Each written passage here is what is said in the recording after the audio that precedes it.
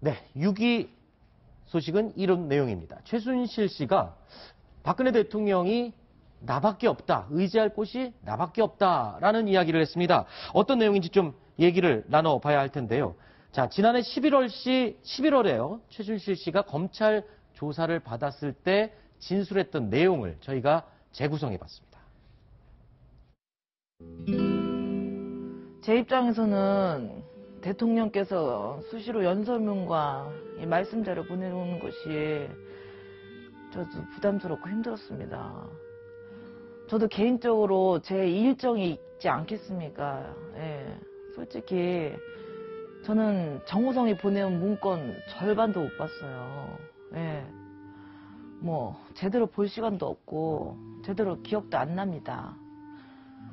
대통령님 주변에는 저 말고는 뭐 개인사까지 믿고 의지하실 분이 딱히 없, 없으셨고 그 뭐예요 그 배신에 대한 트라우마가 굉장히 강한 분이었기 때문에 저한테 많이 의지를 하셨습니다.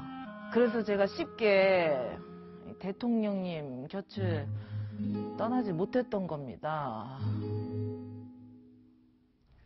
자, 원한 적이 없는데 청와대 측에서 문건을 전달을 해 줬고 본인이 보여달라고 한 게 아니라 봐달라고 해서 봐준 거다. 이렇게 얘기를 했었군요. 이거 선을 긋는, 긋는 겁니까? 그렇습니다. 그렇게 볼 수 있겠고요. 더군다나 조금 전에 나왔던 이야기에 더해서 어, 대통령이 매번 자신에게 의견을 물어보라고 정우성 비서관에게 시키진 않았을 것이다. 네. 그런데도 정우성 비서관이 자신에게 의견을 물어봤다라고 하면서 일단 작년 11월 검찰 조사에는 대통령도 일부 감싸는 진술을 했습니다. 그런데 이게 어, 적극적으로 대통령과 자신이 최순실 씨가 협력 관계를 이루어서 국정을 농단하고 여러 가지 인사에 개입했던 것이 아니다라는 점. 그리고 두 번째로 어, 적극적인 그런 협력 관계가 아니고 대통령을 이용해서 자신이 뭔가 사익을 추구하고 국정에 개입한 것도 아니라는 점 등등을 부각시키려는 것 같은데요. 하지만 이러한 주장과 배치는 증거물들이 나오고 또한 정우성 비서관의 진술도 있기 때문에 네. 과연 법정에서 이러한 최순실 씨의 주장이 진술이 어디까지 인정될지는 미지수라고 할 수 있겠습니다. 조금 전에 본 영상 마지막 부분 저희가 이게 그 진술서 내용을 토대로 그대로 재구성을 한 내용인데요. 마지막 부분이었습니다. 내가 박근혜 대통령을 떠날 수 없었던 이유를 밝힌 건데 어떻게 들으셨습니까? 검찰 조사의 내용 그대로인데 네. 좀 와닿으십니까? 이제 본인의 어떤 이제 그 변명을 하는 거고요. 네. 왜 대통령의 비선 실세로 대통령 주변을 맴돌았느냐 이것에 대한 자기 항변을 이렇게 하는 거고요. 근데 이 곁- 곁에 있었다고 해서 지금 문제가 되는 건 아니지 않습니까? 그렇죠. 곁에서 왜 인사에 개입을 했느냐. 그러니까 누구를 통해서 그 누구를 어느 자리에 앉히려고 했느냐. 그러니까 공식적인 사람이 공식적인 절차를 통해서 이 국정에 참여를 한 것이 아니라 그 무자격자인 그 민간인이 대통령의 어떤 공적 지위를 활용해서 자기 사익을 추구하거나 아니면 제3자에게 이익을 주려고 했던 거 아니냐. 네. 이런 점이 지금 문제가 되고 있는 거기 때문에 이건 최순실 개인을 위한 변명일 뿐이지 이건 뭐 대통령을 위한 변명이라든지 아니면 국민들에게 나는 원래 이래서 그런 거니 선한 의지로 네. 옆에 있었던 것이니 봐주십시오. 뭐 이렇게 본인은 항변할 수 있을지 모르겠지만 제3자가 봤을 때는 곁에 있는 것은 그럴 수 있다고 치는데 곁에서 무엇을 했는지 네. 그것이 이제 위법하다라면 처벌을 받아야 된다. 이제 이런 그 평가를 받고 있는 거죠. 네. 지금까지 살펴본 내용은 지난해 11월 최순실 씨가 검찰에서 진술한 내용을 토대로 재구성한 영상이었고요. 바로 어제였습니다. 서울중앙지방법원에서는 최순실 씨 공판이 열렸는데 이 재판정에서 최순실 씨와 최 씨 측 변호인단이 했던 대화 내용이 있습니다. 이 내용도 저희가 화면으로 재구성을 한번 해봤습니다. 함께 보시죠.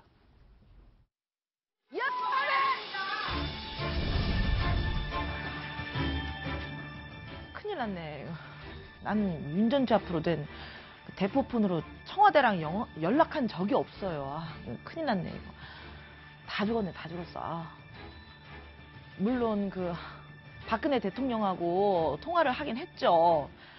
근데 이게 완전 그 조작된 작품이고 이거를 저기 훔쳐가지고 대통령 된 후에 이 통한 게 10번이나 될까요?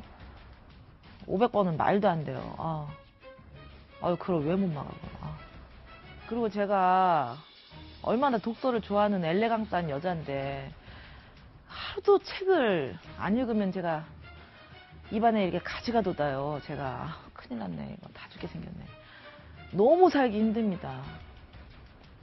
너무 살기 힘들어요! 그 변호사 말고 아무도 못 만나게 하니까 이거는 민주주의가 아닙니다! 네, 특검 측에서 이 차명폰으로 최순실 씨가 대통령과 500여 차례 통화했다라고 밝혔는데 그 부분을 지금 전면 반박하고 있는 거거든요.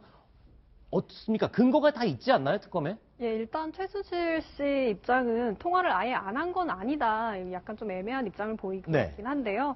특검에서 밝히기를 거의 600건에 가까운, 580에서 90건에 가까운 통화 기록을 이미 확보하고 있다고 밝혔고요. 네. 근데 다만 배- 박 대통령의 휴대폰이 아직 압수가 안 됐기 때문에 이거를 최순실 측에서는 이게 거부를 하고 있는 걸로 보이는데 실제로 통화 내역이 있으니까 이 최순실 씨 측의 그 변호인의 반박에는 그닥 힘이 없어 보이고요. 네네. 더군다나 이 차명 개, 차명폰의 번호를 장시호 씨가 특검에서 분 내용이잖아요. 그렇죠. 보고 기억했다가 검찰에 알려줬죠. 예, 암기했다가 이제 이거를 역 추적해가지고 차명폰의 그 통화 내역을 분석한 것이기 때문에 네. 더욱 최 씨 쪽 변호인의 진술은 이제 신빙성이 떨어진다고 볼 수 있습니다. 네. 최순실 씨가 사실 헌재에도 지금 증언대에 오를 뻔 했었는데 그게 또 무산됐다면서요?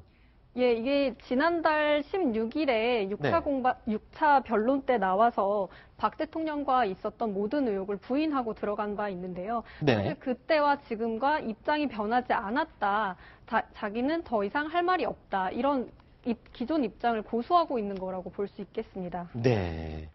자, 손소 변호사님. 네. 지금 헌재가 박 대통령 측 변호인단이 신청했던 모든 증인들 뭐 이런 걸 지금 다 신청을 거부했어요. 그렇습니다. 그러면 지금 어떤 저- 선택을 내릴 수 있는 건가요? 지금 네. 변호인단 측에서는. 네, 일단 그 대통령 측에서 여러 가지 그 신청들을 했는데요. 일단 그 3월 초에 최종 변론 기회를 열도록 좀 기다려달라, 연기해달라라고 했습니다만 이거를 헌법재판소가 받아주지 않았습니다. 네. 또 고- 이른바 아, 고영태 녹음 파일, 김수현, 김수현 녹음 파일이죠. 이거를 직접 재상에서 들어봐야 된다, 증거조사하자라고 했지만 이거 역시 받아들여주지 않았고요. 네. 또한 아, 대통령이 출석한다면 이제 그 자신의 의견만 말하고 이제 그 아, 신문을 받지 않아도 되느냐라는 네. 그런 그 가능성을 물어봤습니다만 헌법재판소는 불가능하다. 네. 출석한다면 어, 소추위원 그리고 또 어, 헌법재판관들이 직접 신문을 하겠다라고 했기 때문에 대통령 측에서 신청했던 여러 가지 그런 절차들이 현재까지는 제대로 먹혀들지 않고 있습니다. 네. 그러니까 헌재 측에 박근혜 대통령 측 변호인단에 요청했던 거는 다 안 된다. 그럴 수 없다라고 지금 거부를 한 거잖아요. 예, 지금 24일에 변론이 종결되니까요. 네. 변호인단 전원 사퇴를 만약에 한다면 네. 할수 있는 시간도 지금 얼마 없습니다. 그러니까 24일이 종결되니까 24일을 할 것 같지는 않고 만약에 네. 그 전에 혹은 내일이라든지 이렇게 만약에 그 결단을 내려야 될 것 같은데요. 지금 현재 그 객관적으로 봤을 때 박근혜 대통령한테는 완전히 비상 상황 아닙니까? 그러면 아. 어떤 conti, contingency plan 같은 그러니까 아주 비상한 어떤 대응이 필요하다고 생각이 드는데 네. 신문 같은 경우에도 어, 만약에 박 대통령이 그 헌재 출석한다면 제 생각인데 이것은 그 박 대통령이 신문에 응해야 된다고 생각합니다. 아, 그리고 그래요? 응해야 할 뿐만 아니라 네. 텔레비전으로 생중계해야 된다고 생각합니다. 그렇게 아. 해서 국민들한테 본인의 어떤 정당함이라든지 뭐 억울함 그- 같은 게 있으면 직접 호소하는 게 오히려 박 대통령의 지금 현재 상태로 봤을 때는 어, 이것을 돌파할 수 있는 상황 그 하나의 방법이지 않을까 이렇게 생각이 듭니다. 사실 지금 박 대통령 측 변호인단이 불과 한 1, 2주 전까지만 해도 들고 있는 카드가 굉장히 다양하다. 그리고 많다. 그래서 상당히 좀 여유가 있는 것 같은 식으로 언론에 보도가 됐었거든요. 근데 불과 일주일, 열흘 만에 입장이 지금 상당히 좀 안 좋아진 기류가 형성이 된 것 같아요.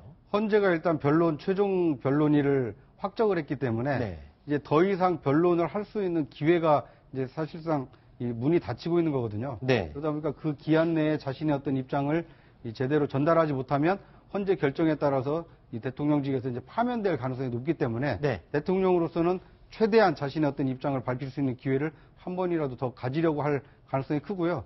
만약에 그런 기회를 가지려고 한다라면 이 헌재에서도 조금 늦추더라도 기회를 주는 것이 합당하다고 봅니다. 네. 대한민국은 민주주의 민주주의 국가이기도 하지만 그 민주주의를 유지하는 그 근간은 법치주의 아닙니까? 네. 그러니까 법에는 이 강자의 논리뿐만 아니라 약자에게도 어떤 보호할 수 있는 그 권리와 권한을 주고 있거든요. 그러니까 지금 국회로부터 대통령이 탄핵이 되는 것은 분명한 사실이지만 탄핵당한 대통령이 자신을 변론할 수 있는 이 변호할 수 있는 기회도 주는 것이 이 법치주의 정신에 맞는 게 아닌가 하는 생각이 듭니다. 네, 알겠습니다.